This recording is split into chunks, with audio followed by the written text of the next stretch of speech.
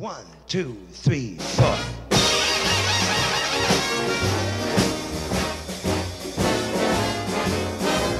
Without a song, the road would never end. This picture was done in 1957. It was the last time that Marilyn and Milton actually worked together. And this was actually done as promotional stills for the up-and-coming release of Prince and the Showgirl. And it was actually shot this way. He was on a ladder shooting down, and she was looking up at it. This is the actual bottom of the frame. But what Peter likes to do is he'll work it like this.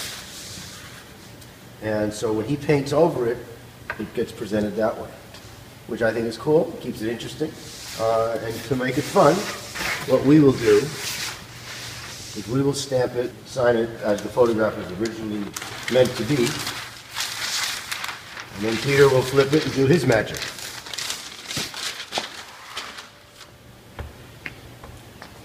James Penrod, our printer extraordinaire, master printer,